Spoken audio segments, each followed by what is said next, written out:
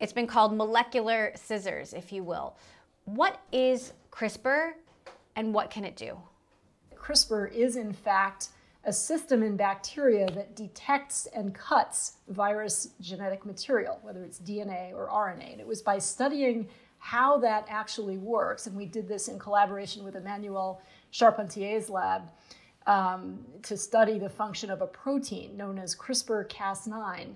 That line of research led to an understanding of the function of this molecule that allowed us to harness it as a tool for genetic manipulation, namely for altering DNA sequences in any cell in a precise fashion, in a programmable fashion that gives scientists now a very powerful way to understand the function of genes, but importantly also to change the function of genes in a, targeted way. The pace of CRISPR research, the application has been startling. It's been incredible to watch. What are the current use cases that inspire you the most?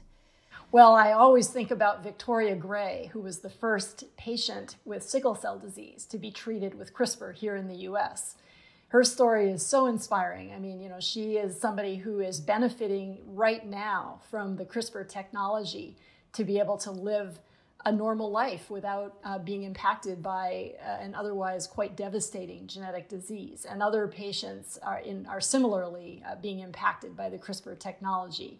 So I think that's one area where we will see increasing developments, uh, more and more clinical trials that are starting. In fact, at the Innovative Genomics Institute that I started a few years ago uh, here in the Bay Area, we have just received approval from the Food and Drug Administration for our own investigational new drug or IND uh, trial for sickle cell disease. So, you know, this is really an extraordinary moment, I think, in, in terms of thinking about cures for genetic disorders. Back in the 70s, test tube babies were controversial, and now IVF is widely acceptable, accepted, available.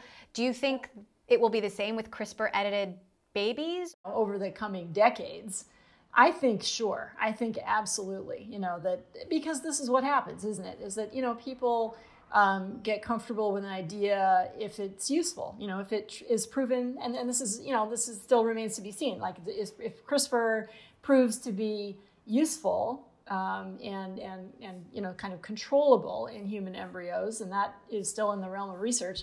But if that were to happen, then uh, you know I think it becomes a possibility that in vitro fertilization clinics offer that to their uh, clients.